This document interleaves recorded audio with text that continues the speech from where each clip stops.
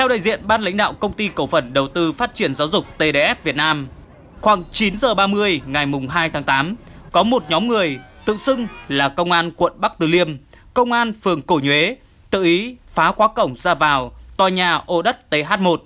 khống chế, ghi đầu và bắt giữ hai người của công ty TDS là bà Nghiêm Nhật Anh là cổ đông sáng lập công ty TDS và bảo vệ của công ty là Đỗ Văn Hà mà không đưa ra được bất kỳ văn bản thông báo nào về việc cưỡng chế hay bắt giữ người tại lô đất TH1. Sau khi còng tay bà Anh, ba người mặc thường phục đưa bà Anh ra xe mang biển kiểm soát 30E 48180 đưa về công an quận Bắc Từ Liêm. Ngay sau đó, lãnh đạo công ty TDS đã có mặt tại công an quận Bắc Từ Liêm để làm việc.